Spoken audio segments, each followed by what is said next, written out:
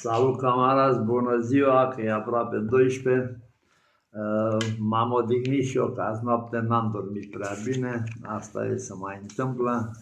A la guer, cum a la guer, când spunea Napoleon, la război ca la război. Dai să-mi așez camera mai așa. I-am bătut și pe lituanien, dar chinuit. Ceea ce vă spuneam eu, Lucescu nu e antrenor, e hahaleră. Dar mă rog, mergem cu Dumnezeu înainte. Uh, vreau să vă fac un clip să vă avertizez. Eu fiind mai bătrân ca majoritatea dintre voi, uh, consider că e și datoria mea să vă deschid ochii, datoria mea și de român și de om, așa, păcătos ca toată lumea, bineînțeles, dar toți avem păcate. Uh, vreau să vă avertizez despre indivizi dubioși care vorbesc pe internet, că internetul e liber, vreau să vă avertizez de oameni care paradoxal vă, vreau, vă vor binele, nu știu ce, dar de fapt vă duc în, în prăpastie, știi, așa, pe nesimțite. O să vă vorbesc despre un individ care se numește Bogdan Vasile. Uh, ca el mai sunt mulți pe internet și vă dau numai așa câteva, câteva nume.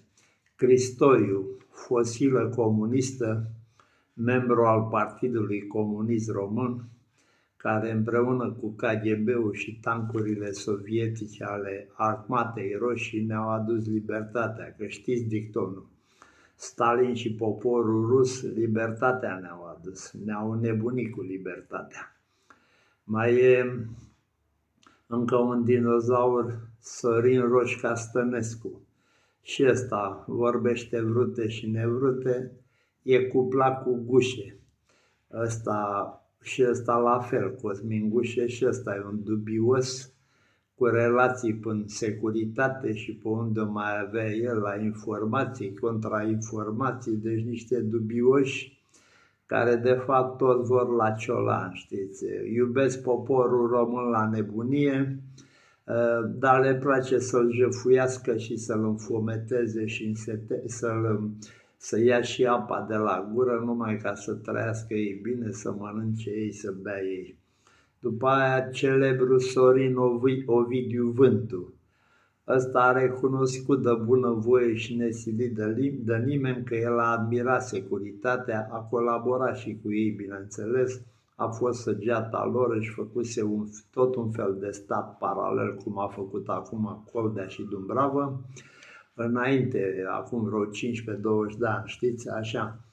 Mai e încă unul și ăsta, așa zi, zi, zi, zi, jurnalist, Cornel Nistorescu, ăsta iarăși un brontozaur comunist vopsit în democrat, ne dă la uh, ne dă la sfaturi, ne dă nu știu ce, nu poate să doarmă de grija poporului român și ăsta și celebrul Luca, care a avut realitatea TV, cu care am fost arestat la Ploiești câteva săptămâni. Deci toți ăștia uh, nu mai pot de binele, de, de grija poporului român, nu poate să doarmă de grija poporului român, dar precum Haurar și precum șoșocarii, de fapt se gândesc numai la cașcaval, știi? Poporul român e un popor de fraier care îi hrănesc pe ei de 70 ceva de ani și s-au obișnuit. După ce am am hrănit și familia dictatorului și pe al fostul președinte Gheorghiu Deș, am hrănit toată securitatea și miliția, am hrănit-o ă, lumea asta și pe împușcării pe vremea lui Ceaușescu. Mulți au fost decimați la Poarta Albă, la, prin fenomenul Pitești, la Gherla, la Aiut.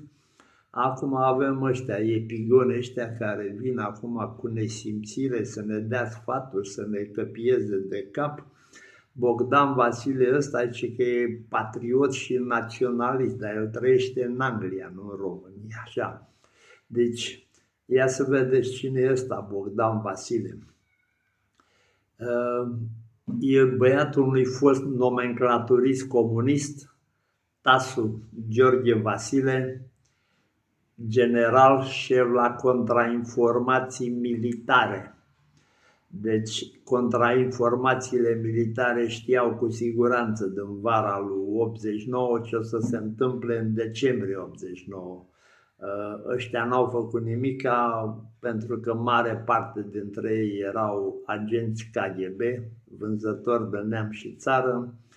Uh, altă parte mai poate că o mai ardea și cu Republica Populară Maghiară de lângă noi, poate unii mai trăgeau cu ochiul și pe la Londra, și pe la Paris, și pe la Berlin sau Bonn, cum era pe vremea așa.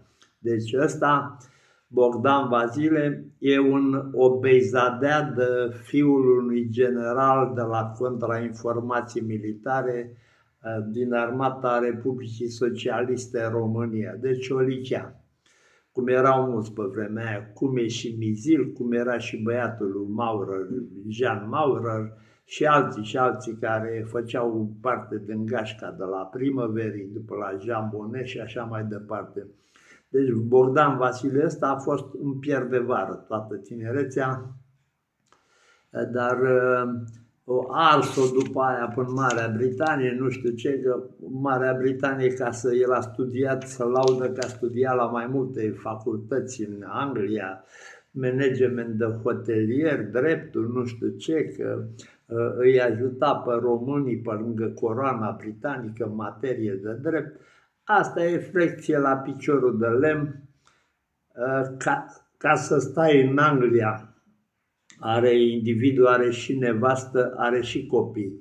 Ca să stai în Anglia cu o nevastă și doi, trei copii, păi îți trebuie un sac de lire, frate, știi așa. Ăsta a stat acolo, înseamnă că la Cerși n-a fost, n-a făcut nici Maradona, n-a făcut nici Alba Negra, deci a avut niște fonduri de la TASU, furate de TASU.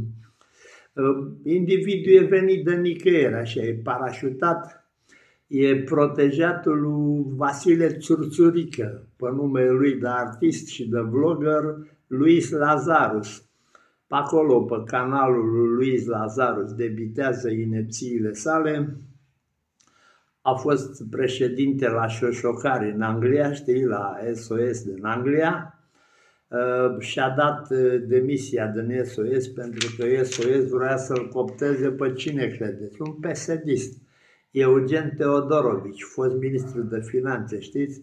Și asta spune totul despre Partidul Șoșocarilor și despre Madame Șoșoacă, nu? Și despre Vasile Țurțurică, amantul ei, vloggerul lui Pește. Oricum, certe că i-au țepuit și ăștia pe români, amândoi au ajuns la Bruxelles, europarlamentari, Traineneac. Iau, le-a dat apă la fraierii de români care i-au ales. Ea fac foamea și își, își fac, acum își caută apartament de lux la Bruxelles, că sunt încă în luna de miere. Șoșocara cu Vasile Țurțurică, alias Luis Lazarus.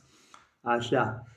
Um, Bogdan Vasile ăsta e un fel de profet mincinos. De fapt, el, el le știe pe toate, știi? Și ca să, dacă le știe pe toate, probabil că îi suflă securiștii în cască, nu? Așa.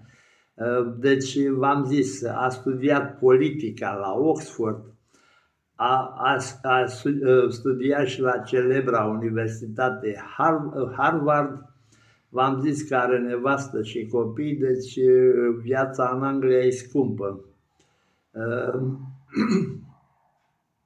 El nu zice că n-a fost co- colaborator al securității, îmi vine greu să cred treaba asta, dacă Tasu era și el la contrainformații militare, îmi vine greu să cred că el n-a fost turnător la securitate sau săgeata lor, foarte greu vine să cred.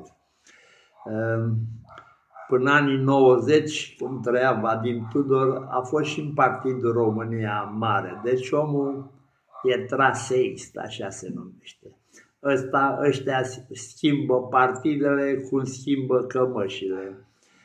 Mi-aduc aminte de Vadim Tudor când le spunea la securiști să vină în partidul lui, deci la mare patriot, dar cu securiști, știi, așa. Da să văd aici.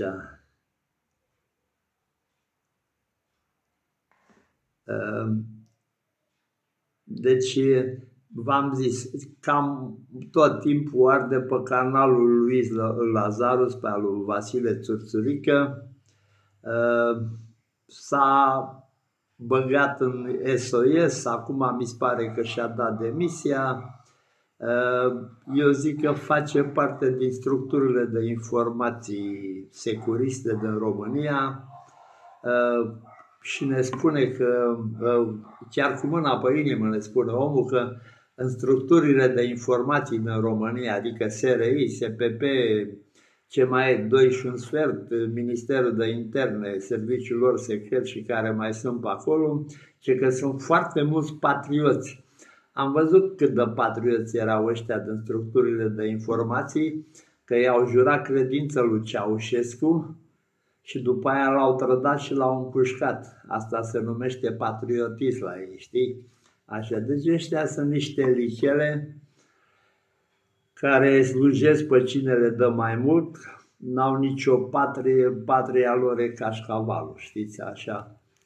Deci eu zic că să-i spună lui Mutu treaba asta, că în structurile de informații sunt, sunt foarte mulți patrioți.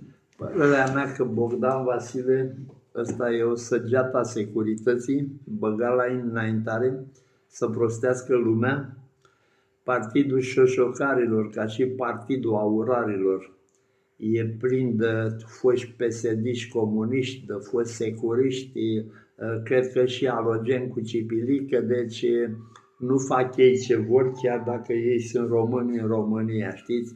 Deci toți ăștia sunt slugile străinilor, niște canali, niște venetici, trădători de neam și țară, așa așa cred eu. Deci vreau să vă spun treaba asta și ca el sunt mulți pe internet, aveți grijă că ăștia sunt, uh, cum spunea Iisus în, uh, în predicile lui, spunea că vor veni mulți falși profeți, știi? Ăștia sunt profeți falși, sunt niște lichele, niște scursuri care au distrus România, și după ce au distrus-o ei, acum bagă și au băgat copiii și nepoții la înaintare să ne călărească și ei. Au prins gust la ciolan, la putere, la mărire, la, la glorie, știți?